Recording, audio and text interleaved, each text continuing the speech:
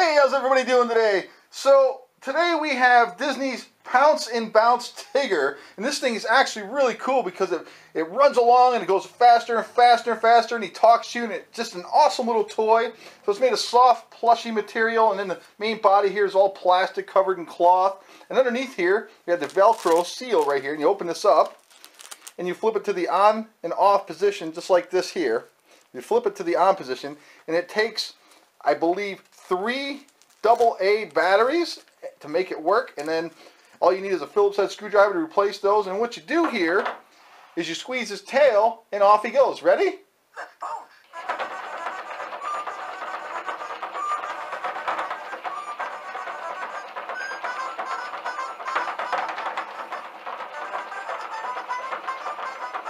Let's bounce even faster. And then you press his tail again, and he goes even faster. Check it out.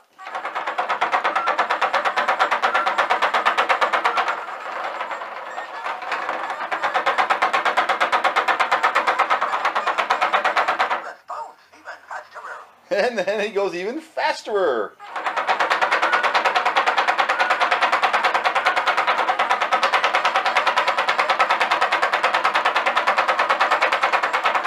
think I might have overpounced.